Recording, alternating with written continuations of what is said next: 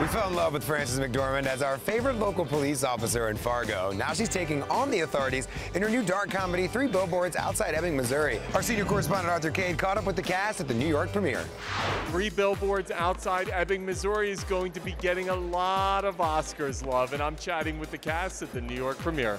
So, Mildred Hayes, why did you put up these billboards? My daughter Angela was murdered seven months ago. It seems to me the police department is too busy torturing black folks and eating Krispy Kremes to solve actual crime. This movie, it is all about how do we get over grief, but it brings people together in yeah, this movie. well, it deals with everything race, gender, politics, geography. Um, you know, it deals with it deals with the deeper issues of humanity and life, and it has repents. Your scenes with Frances McDormand. I mean, this woman is an absolute national treasure. She's a force of nature. She's amazing. Yeah. When you get to work with someone like that, walk me through that process.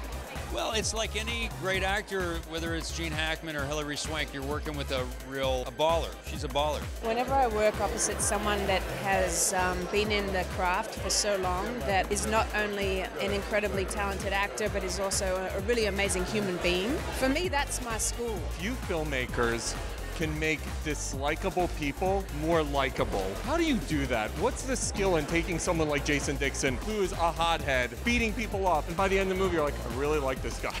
Um, well, I guess you try not to judge them. You know, you try to show the show their faults and how horrible they are in, in places, but you don't treat them as simple villains. You're getting a lot of Oscar buzz as an actor. I know it's not why why you guys do this, but how cool is it to be getting this critical acclaim? It's really thrilling. It's exciting because not only are, are aspects of the movie like the performances, but but the entire film is getting attention. It's really exciting, and ultimately that's what you want because you want people to see the movie.